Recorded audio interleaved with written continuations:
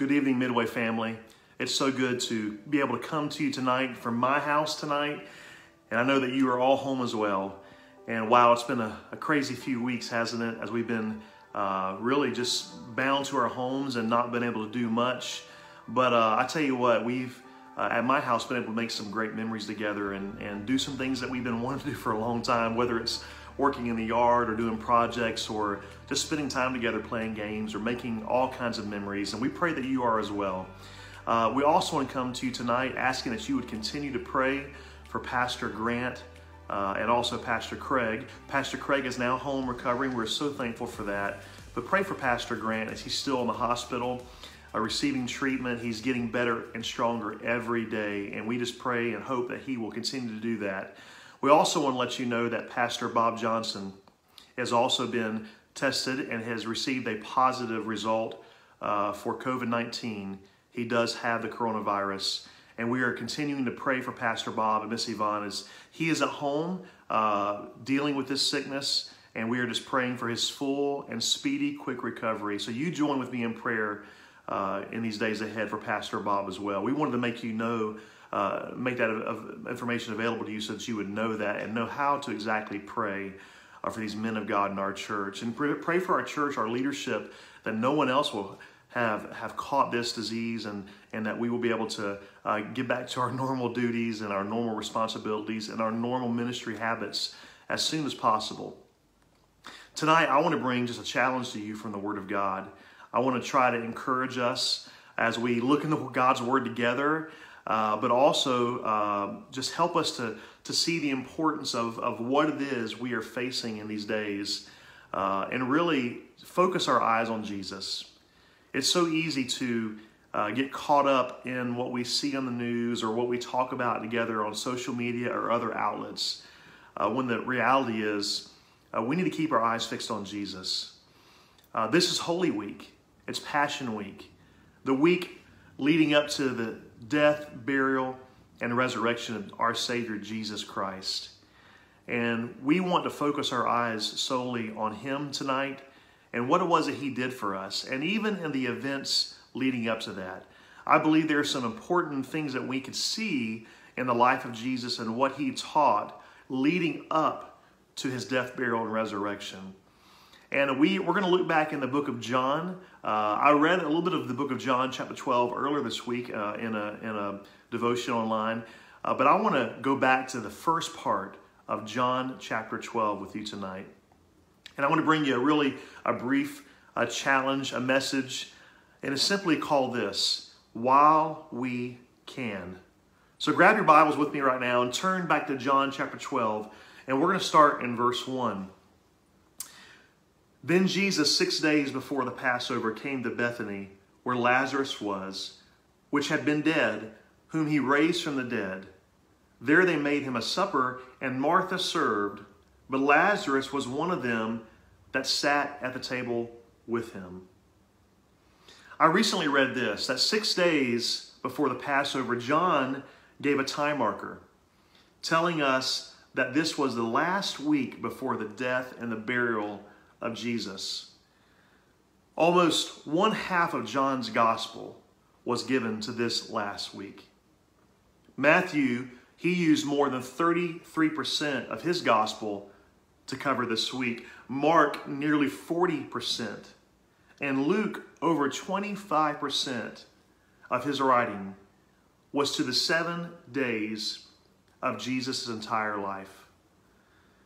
First of all, I believe that, that this is because what we are going to learn from the life of Jesus during this time is eternally important. It has eternal significance for you and for I. Secondly, Jesus was here uh, to more than likely celebrate the resurrection of Lazarus with his family. But he was the guest of honor at this gathering.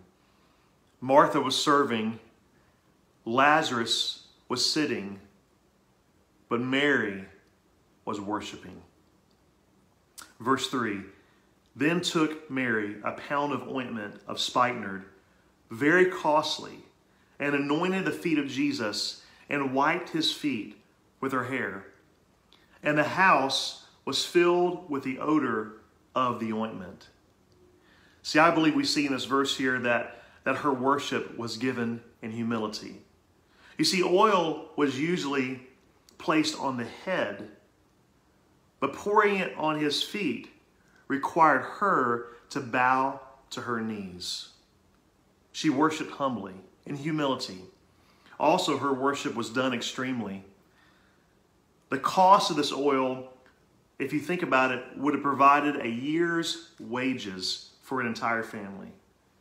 And she didn't use water or anything like that that was really easily and readily accessible and available.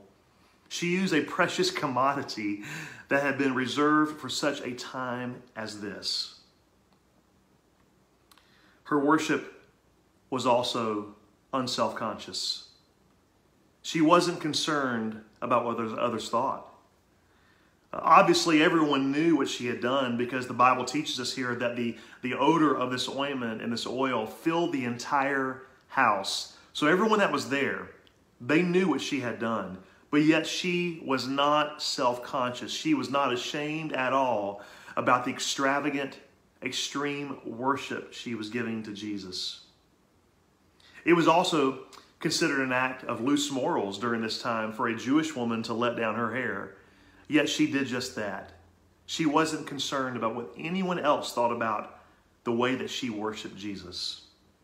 So her worship was in humility. It was, it was done extremely and it lacked any self-consciousness at all. She wasn't concerned about, about what anyone thought, which I believe begs the question for us. What is the extent of our devotion and our worship to Jesus? Would it be characterized by the same description of Mary's worship? Humble, extreme, not self conscious. But you know, everyone, or not everyone, was approving of Mary's posture toward Jesus. And guess what? They're not going to be of ours either. Verse 4 says this Then saith one of his disciples, Judas Iscariot, Simon's son, which should betray him. Why was not this ointment sold for 300 pence and given to the poor? This he said, not that he cared for the poor, but because he was a thief and had the bag and bare what was put therein. You see, first of all, Judas' response was only really an explanation of his dark, hardened heart to Jesus himself. His posture was also the opposite of Mary's. While she was humble, he was proud. While her worship was extreme, he was selfish. And while she was unself conscious, he was self preserving. Like Judas, we can't fool God with self righteousness that attempts to cover up our dark heart because our heart will always be revealed. And then in verse 7 through 8, we see the response of Jesus.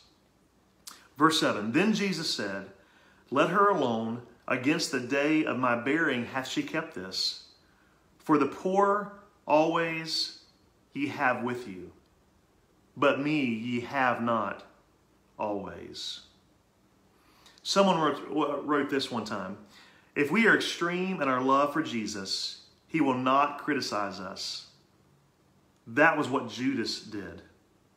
It is much better to be like Mary, extreme in our love for Jesus, than to be like Judas, criticizing others who show such great love for Jesus.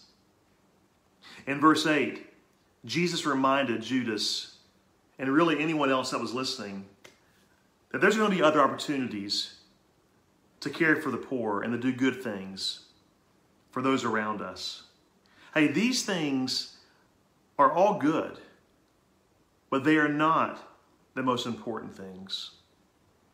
Jesus was fixing to leave this world, and Mary was worshiping him while she could. That's so important. The Lord said back in Genesis, My spirit shall not always strive with man. And Jesus has just said, But ye have not me always. Is, is it possible that God is allowing us to go through this pandemic to show us what we don't need? In an effort to show us what we do need? I believe that it is. And here are a few things that I believe uh, that we as people need to do while we can. Some things that we should do while we can. First of all, individuals, you and I, we need to take the ex- extra time and the quietness that we've been given to draw close to God and His presence.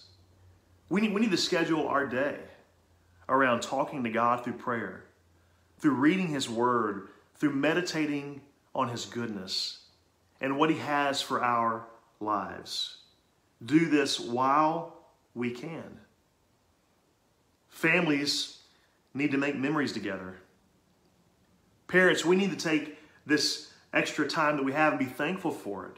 That we have, an, we have more time to speak in personally, one on one, to the lives of our children while we can. Christians need to be humble and extreme and unself conscious in our worship to Jesus and our testimony to others while we can. But also, I believe that people who are lost and who are away from God need to listen to His voice and turn to Him while you can. If we've learned anything in the last few weeks as a society, I, I believe that it's this. We will not always have the luxuries of this life at our fingertips, will we? We are learning that there are some things that really we can do without. But there's one thing in this world that we cannot do without. It's Jesus. It's Jesus. Christians, I want to encourage you tonight. Spend time with Jesus while you can. Spend time with your families while you can. Spend time doing the things that are the most important in this life, and they are spiritual things while you can. And maybe you're listening to me tonight and you just kind of happen uh, across this broadcast and, and maybe you don't know Jesus. Maybe you don't know who it is I'm even talking about. Maybe you're away from God. Maybe you know who God is, but you just have no relationship with Him at all. My plea to you tonight is this come to Jesus while you can. You can do that as simple as this saying, Jesus, I am sorry for my sins. Forgive me of my sins. I surrender my life to you. Take control of my life. Cause me to have a heart for you, that lives for you, that chases after you. And, person, I promise if you'll do that, He will come into your life. He will make you a new creation in Him. And He will fix your eyes upon Himself where they should be. That's my prayer for you tonight. That's my prayer for all of us that our eyes will be fixed on the one who came to die for us that we might have eternal life. And so, my encouragement to you today is this to keep strong in Jesus. Be strong in the Lord. Keep your eyes fixed on Him. He will carry us through this to the end. He has the victory. We are claiming the promise that He has never left us and He will never forsake us now. So I encourage you, Christians, to keep fighting the good fight of faith. Pray like you never have, witness like you never have, encourage others like you never have before while we can. Father, I come to you in the name of Jesus Christ, praying that we would just fix our eyes on you, that you would hear us, that we would draw close to you, that God, you would, that you would heal our nation. Bring us to our knees, God, that we may fix our eyes upon the one thing that really matters, and that is our relationship with you. God, we, we pray for our pastor. We pray for Pastor Craig. Pray for Pastor Bob and Pastor Grant. God, may you touch these men. May you, may you bring them the full healing God, bring us back together uh, as a body of Christ that we may worship together, we may uh, live together in unity, serving our community well, and doing what you called us to do. But until then, God, we're going to keep on trusting you. In the name of Jesus we pray. Amen. Midway family, thank you for joining me tonight. I want to encourage you to be ready to worship this weekend and spend time with your family over the next few days just talking about the events of Christ, his, his laboring and prayer in the garden, his betrayal by his own disciples, which led to his arrest and his death on the cross, and then his burial in the tomb, but ultimately winning the victory over death, hell, and the grave Sunday morning as he raised from the dead, bringing us new life. Until then, I love you. God bless you. And we'll see you right here on Facebook, YouTube, and our website, mid-way.com, Sunday morning at 9.30, celebrating the resurrection of Jesus.